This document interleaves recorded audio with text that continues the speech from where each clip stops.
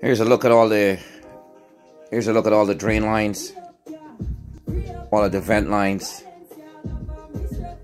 and uh, I had to really put my talent to to to to test here with regards to getting these these lines in the wall pocket, and uh, you know with respect to all of that drain and venting line running in the center of that stud and having to come up to uh, to a height based on code for those water lines.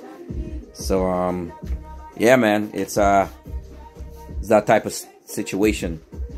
Um, I can't wait to get on to the electrical part of it where we can start running some electrical lines, the outlets, and all the other stuff. Downstairs, the uh, the, the the waste lines and the plumbing line that connects to you know to the um, to the city water line or the, the main water line in the house that that is um that is uh, getting ready to get started. And the tie-in for the the tie-in for the um for the main waste line uh, also is getting ready to get tied in. So uh yeah you know we keep moving like this.